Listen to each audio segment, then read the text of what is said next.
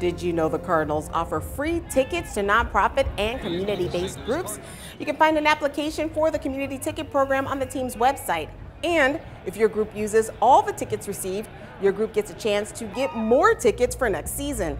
Tickets are available while supplies last and only for certain dates. Learn more at cardinals.com and click on the community link at the top of the page. So let's decide you guys decide to stay home and have a Cardinals watch party. We have Carol Hurst here of Olde Town Spice Shoppe who's going to make sure that everything tastes awesome on a stick. What do you have here, ma'am? We have pizza on a stick. As you know, we started talking about cardinals and what kind of food is really good to have.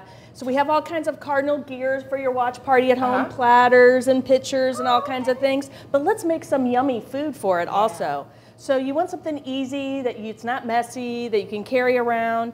And so why not pizza on a stick? Why not? It's like super easy and kids or adults, you can tailor to you if, you, if you're vegan, if your um, kid doesn't like peppers, whatever it is. Okay. So here we've assembled some, I have all turkey, um, pepperoni and little sausages that are pre-cooked. I cut them in half, some onions, and then over here I have some green peppers, some little tomatoes, and some mushrooms. So then I just got some skewers, and if you have wooden skewers, you're gonna wanna soak them in water so they're not gonna burn in the oh, oven, but I have metal ones. And here's the tip.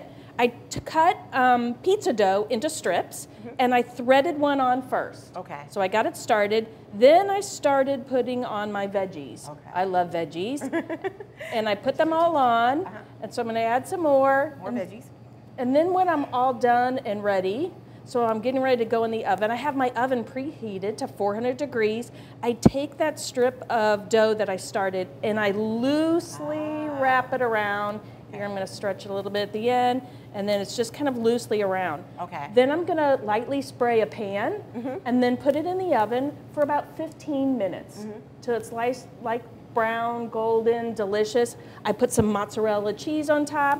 I also picked some of our yummy spice seasonings. Here I have a red red bell pepper and garlic, a garlic bread sprinkle that actually has some cheese in it and lots of garlic, and then an Italian herb. And I kind of just sprinkled those on along with my cheese. Okay. And then I even have some uh, some so yummy spaghetti on, sauce on there.